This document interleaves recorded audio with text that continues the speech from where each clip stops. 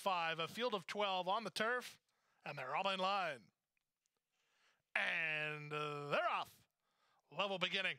From the center, Big Sport wins the break with strike play, moving to challenge Silent Tiger away in the top flight. And the rail, Dempsey moves through in the charge to the first turn. Up front now, striding to a three length lead is Big Sport. Up to second strike play, Dempsey is third, Silent Tiger fourth.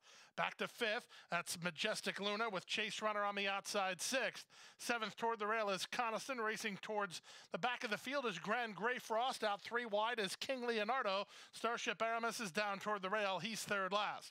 Second last is Epic Junior and Bermejo last of all as they complete the opening quarter in 23 and 4. Down the backstretch they go. Big Sport in front, three parts of a length. Silent Tiger second, strike play third. That's Dempsey who has now been eased at the back. The one Dempsey has been pulled up. Moving up to third while three wide is Chase Runner. Trying to move up is Majestic Luna. Grand Gray Frost is in tight between horses. King Leonardo is out wide. It's a length and a half then to Epic Junior racing ahead of Coniston. That's the favorite. He's got a lot of traffic ahead of him and seven lengths to overcome. Two better than Starship Aramis. Dropping to last is Bermejo. And again, Dempsey has been pulled up.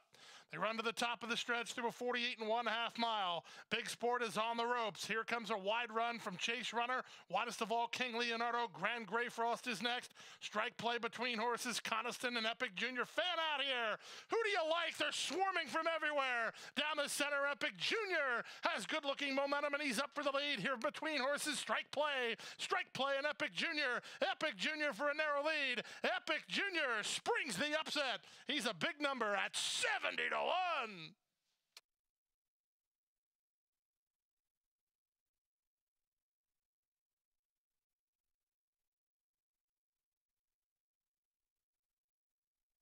Pick three, four, three, and eight.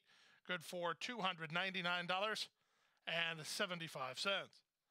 Pick four, $1,084.55. $55, or rather $5 and 55 cents.